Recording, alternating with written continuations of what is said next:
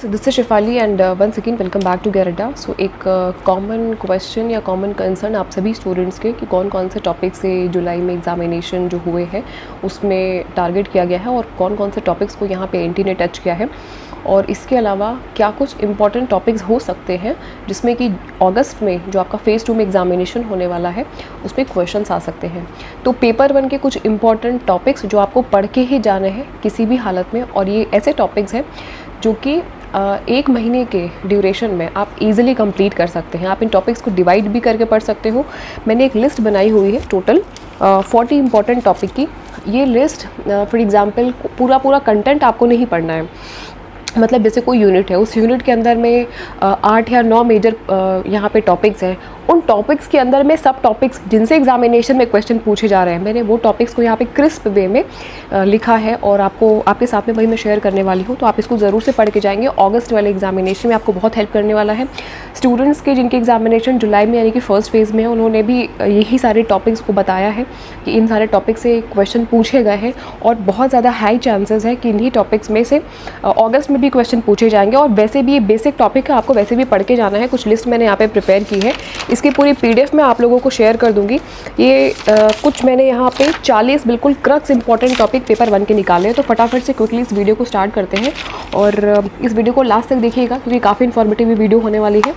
तो आपको जो टॉपिक कवर करना है पेपर वन के सबसे पहले मूक को आप पढ़ जाए पढ़ के जाएँगे मूक का फुल फॉर्म और इसके कुछ फीचर्स को स्वयं आप कवर करेंगे। एनआईआरएफ की रैंकिंग को आप पढ़ के जाएँगे कि एन के अकॉर्डिंग कौन सा जो कॉलेज है इंडिया का नंबर वन है, कौन सी यूनिवर्सिटी इंडिया की नंबर वन है, आप रैंकिंग पढ़ के जाएँगे। इसके अलावा क्यूएस की भी रैंकिंग आप पढ़ के जाएँगे। इसके अलावा इफ़ेक्टिव कम्युनिकेशन की फीचर्स को कैरेक्टरिस्टिक्स को पढ़ के जाएँगे, जो कि आपको एजेशन और रीजन की क्वेश्चन करने में हेल्प करेगा। मॉडल्स ऑफ़ कम्युनिकेशन से भी क्वेश्चन आ रहे हैं मैचिंग के। ग्रुप कम्युनिकेशन क्लासरूम कम्युनिकेशन बहुत ज़्यादा इंपॉर्टेंट है। ग्रेप वाइन कम्युनिकेशन और डायगनल कम्युनिकेशन भी आपको कवर करके जाना है। एंड्रागोजी और एडल्ट लर्निंग जिसको एक दूसरा नाम एडल्ट लर्निंग भी है, ये पढ़ के जाएँगे। इसके साथ में पेडागोजी भी आप पढ़ेंगे।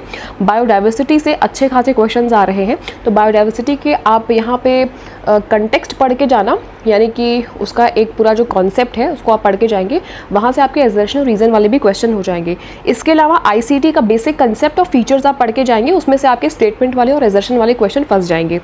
हब स्विच और राउटर ये क्या है? इनका मैचिंग का क्वेश्चन आता है।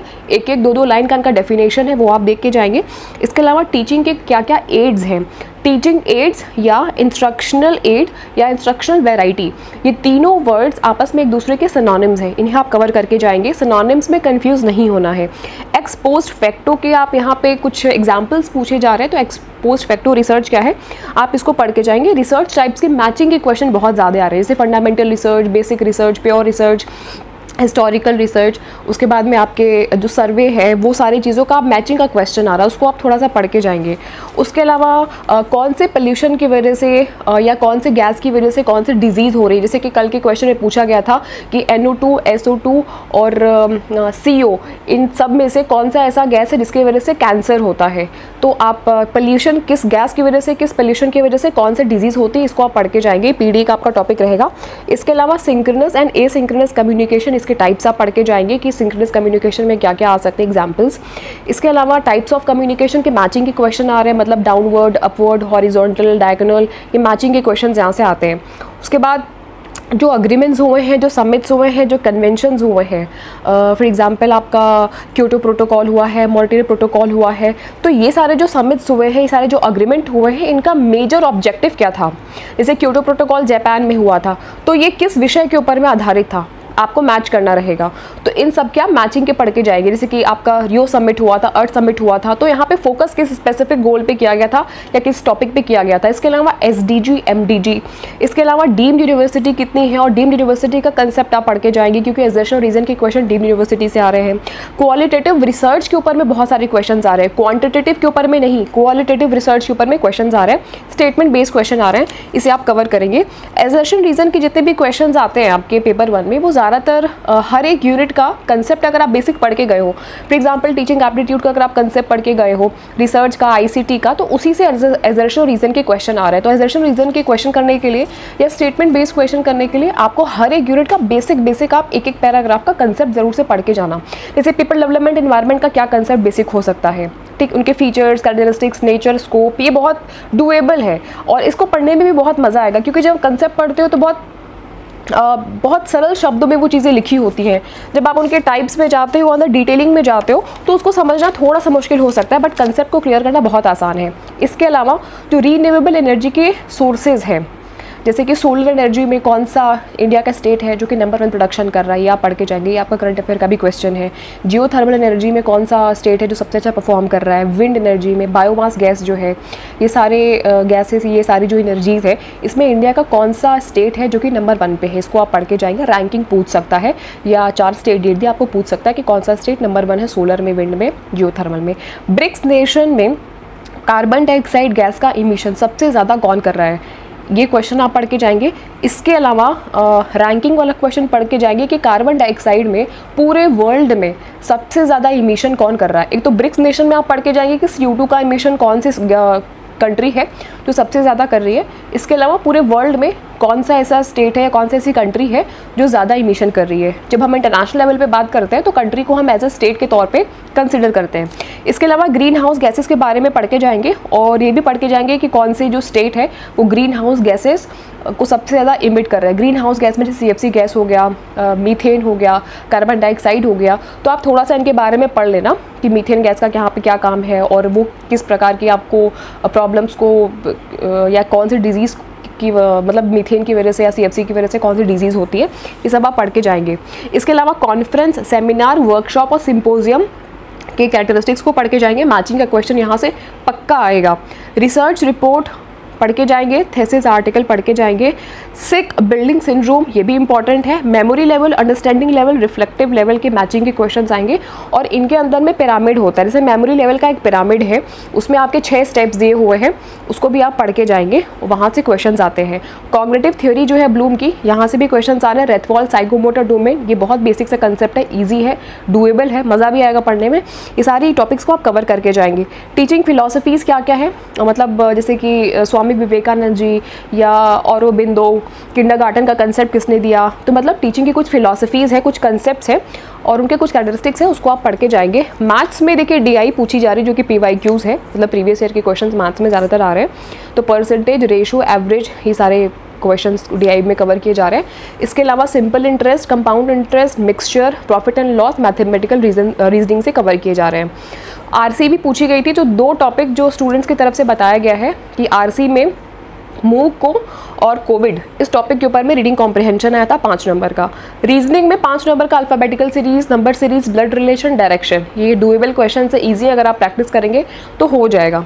इंडियन लॉजिक में फैलेसी को कवर करा, करा जा रहा है और फैलेसी आएगा। फैलेसी में मतलब फैलेसी मतलब हेतवाभास जिसे उसके एग्ज़ाम्पल पूछ सकता है एग्ज़ाम्पल के थ्रू ही पूछेगा। या सीक्वेंस ऑफ़ अनुमान भी पूछ सकता है कि अनुमान का स्टेप्स बताइए अनुमान का प्रोसेस बताइए जो कि फुन है P H U N N प्रतिज्ञा और फिर उसके बाद हेतु उदाहरण और ये पी एच यू एन का फुल फुल फॉर्म पूरा पढ़ के जाएँगे। सीक्वेंस पूछ सकता है आपसे अनुमान का। ये इंपॉर्टेंट है बहुत ज़्यादा। इसके अलावा इंडियन स्कूल ऑफ़ लॉजिक में जो छः प्रमाण है तो छः प्रमाण में जैसे कि आपका प्रत्यक्ष अनुमान, शब्द उपमान, अर्थपति और उपलब्धि। इसके एग्जाम्पल्स को आप पढ़ के जाएँगे। यहाँ से मैचिंग के क्वेश्चन बहुत हाई चांस है आने के। इसके अलावा साइंटिफिक रिसर्च के स्टेप्स और नल हाइपोथेसिस और ऑल्टरनेटिव हाइपोथेसिस फ़िलहाल तो रेंडमली उतना नहीं पूछ रहे बट फिर भी आप थोड़ा सा इसके कंसेप्ट को पढ़ के जाएँगे। हाइपोथेसिस के कंसेप्ट को मे बी एजर्शन रीज़न के फॉर्म में पूछ सकता है। डायरेक्टली नहीं पूछेगा। एजर्शन रीज़न या स्टेटमेंट के फॉर्म में पूछ सकता है। व्याप्ति का एक बहुत ही कॉमन एग्ज़ाम्पल से पूछता है, जो स्मोक फायर और हिल वाला क्वेश्चन है। इसको कवर करते हैं। और पिछली बार भी पूछा था, और जब से एन एग्जामिनेशन करा रही है तो व्याप्ति को कवर करती है। एग्ज़ाम्पल के थ्रू पूछती है। कि smoke is associated with fire और फायर अगर हिल पे है तो आपको बताना है कि इसमें व्याप्ति क्या है, हेतु और साधु और पक्ष के बीच का यहाँ पे रिलेशन पूछती है। ये 40 टॉपिक्स मैंने आपको यहाँ पे बताए, जिनसे कि 110 परसेंट श्योर है कि पक्का किसी न किसी शिफ्ट में इन सारे टॉपिक से क्वेश्चन आएँगे ही। ये बिल्कुल 40 टॉपिक जो मैंने आपको बताए हैं पेपर वन का क्रक्स है, जिसे आपको पढ़ के ही जाना है। इसके अलावा जो मैंने आपको बताया कि हर एक यूनिट का बेसिक फीचर्स कैरेक्टरिस्टिक्स कंसेप्ट पढ़ के जाएँगे, उससे आपके एजर्शन वाले क्वेश्चन हो जाएँगे, कोई भी ऐसा यूनिट नहीं रहेगा जिसके आपके बेसिक स्कोप या फीचर्स या कंटेक्स्ट ना जानने की वजह से क्वेश्चन छूटे। तो अगर आप इतना भी कवर करके जाते हैं तो आपका 40 क्वेश्चन के आसपास बिल्कुल सही होने के चांसेस रहेंगे। और आई होप कि ये वीडियो आपके लिए यूज़फुल रही होगी हेल्पफुल रही होगी। अगर आपका कोई भी क्वेश्चन है क्वेरी है डाउट है तो ज़रूर से इस वीडियो के कमेंट सेक्शन में लिखेगा ये जो जितने भी इंपॉर्टेंट टॉपिक्स हैं, ये टॉपिक जो भी मैंने आपको बताया है बेस्ड ऑन प्रीवियस एनालिसिस और करंट जो आपका एग्जामिनेशन हो रहा है, उसके एनालिसिस के बेसिस पे पूरे टॉपिक्स क्रक्स मैंने आपको शेयर किया हुआ है। बहुत ही ज़्यादा इंपॉर्टेंट है और एक महीना मोर देन इनफ टाइम है इन सारे टॉपिक्स को कवर करने के लिए। क्योंकि ये बहुत लेंदी टॉपिक नहीं है। ये दो दो तीन तीन लाइन के डेफिनेशन हैं।